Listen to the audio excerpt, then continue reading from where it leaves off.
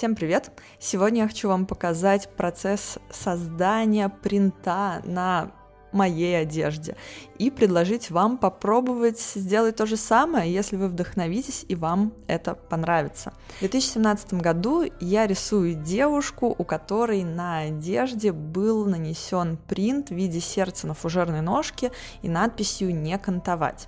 Идея сделать такой принт в реальности дошла до меня только сейчас. Поэтому я немного доработала идею для того, чтобы она стала более подходящей для создания принта. Вы можете скачать эту иллюстрацию с русской надписью, либо с английской надписью и распечатать ее на собственном принтере. Печатать нужно один к одному того размера, который вы хотите в итоге, чтобы у вас оказался на кофте. То есть сначала примерьте, посмотрите, слишком он будет большой или слишком маленький, и э, печатайте на бумаге ровно так, как в итоге должно получиться на одежде. Бумагу для этого нужно использовать самоклеющуюся фирмы Ламонт. Для того, чтобы создать трафарет, мне понадобится макетный нож, он же скальпель. По идее, конечно, вы можете попробовать резать обычным канцелярским ножом, но Скальпель имеет форму ручки, и им намного проще и легче управлять.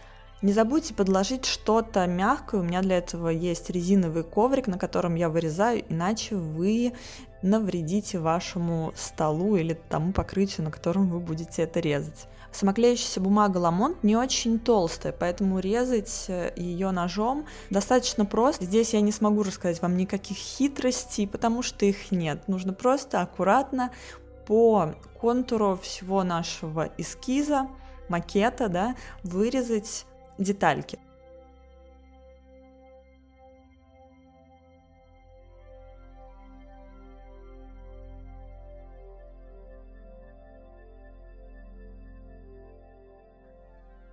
Когда трафарет готов, я провожу эксперимент с купленной краской по ткани. Сегодня я пользуюсь деколой по текстилю, черного цвета. Я нашла ткань, это хлопок, какой-то кусочек икеевской э, ткани и решила попробовать, посмотреть, насколько эта краска жидкая, насколько она хорошо ложится, вообще ее свойства, потому что, как мы знаем, производитель может сделать идеальную краску, но условия хранения в магазине, либо какие-то еще факторы, и краска может испортиться, поэтому каждый раз, когда вы хотите сделать что-то и не хотите расстраиваться от того, что ваш результат э, выйдет не совсем таким, как вы предполагали, делайте тестовые выкраски. Также в инструкции к этой краске написано, чтобы ее разбавить, если она густая, нужен специальный разбавитель. То есть водой лучше ее не разбавлять, потому что таким образом она может ну, как бы потерять свои свойства. От вырезанного трафарета у меня осталось сердце. И я решила протестировать также и бумагу. Я ее приклеиваю к той же самой киевской ткани, смотрю, насколько вообще хорошо самоклеющаяся бумага клеится к изделию. В целом очень хорошо. И я начинаю наносить краску а, для того, чтобы проверить. Если я буду наносить краску а, достаточно близко к границам трафарета, даже заходя за них, не случится ли такое, что краска пропитается, и когда я сниму трафарет, линия будет там не идеально ровной. И как вы можете заметить, краска не пропиталась через трафарет, она не растеклась. Когда я сняла трафарет, в целом изображение получилось очень аккуратным, поэтому это дает мне некую уверенность в том, что и на моих уже а, изделиях в виде футболки и кофт тоже все получится хорошо. Но я вам советую поставить эксперимент да, с вашей э, краской, с вашей бумагой и тканью. Опять же, на краске всегда написано, что лучше этой краской работать по хлопку или шелку. У меня одна из кофт э, стопроцентный хлопок, вторая немного с примесями синтетики.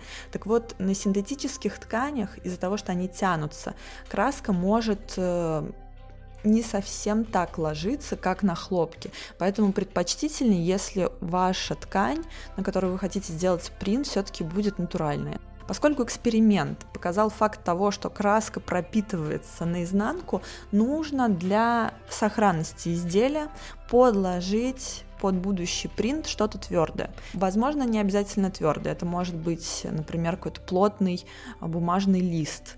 Может быть, это будет картонка, книжка. Э, у меня это МДФ, оно ровное, оно плотное, и на нем, собственно, я и буду распрямлять свою кофту и переносить уже на кофту, которая лежит горизонтально. Самоклеющаяся бумага имеет два слоя. Первый, собственно, это бумага, верхний слой, и внутренний слой э, защитная пленка, которая, которую нужно снять для того, чтобы бумага приклеилась. Поэтому переносим эскиз туда, где мы планируем его разместить, и дальше на самом деле самое простое. Нам нужно взять кисточку, не самую крупную, не слишком мелкую, и тампующими движениями начать заполнять все пространство внутри трафарета. Я делаю это кистью, можно делать это губкой. Что бы я посоветовала вам, это не набирать слишком много краски, потому что излишек краски а она достаточно влажная, будет пропитывать бумагу, и когда вы будете снимать трафарет, то э, размокшая бумага будет не очень хорошо отходить от изделия.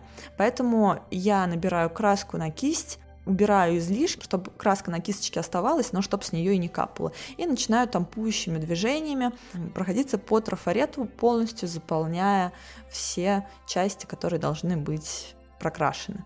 В конце самое приятное – это снять бумагу и увидеть, что все получилось идеально.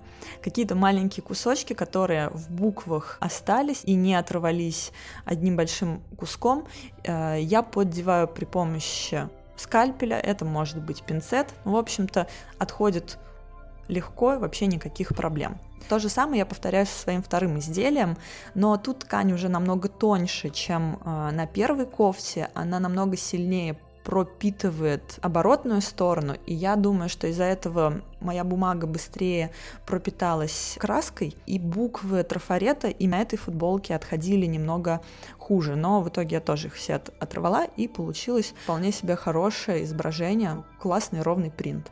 Ну и в конце как написано на банке производителя краски, нужно подождать сутки, пока изделие высохнет, и закрепить краску утюгом. Нужно вывернуть изделие и проутюжить на той температуре, которая предписана вашей футболке. Ну, смотрите бирочку, там наверняка нарисовано один, два или три точечки на утюге. Это значит э, интенсивность, с которой вы можете поставить э, нагрев утюга, да, у меня было две точечки, и вот я проутюжила, и уже можно носить эту кофту, стирать можно даже в машинке, но на деликатном режиме, но лучше стирать руками.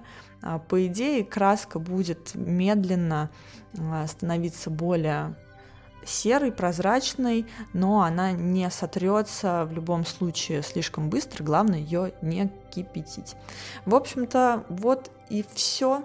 Такой простой процесс, но очень увлекательный. Я надеюсь, что это вас вдохновит на создание собственных принтов и изделий. Ну а я пошла гулять, буду выгуливать в Санкт-Петербурге эту свою новую футболку. Всем спасибо за просмотр и пока!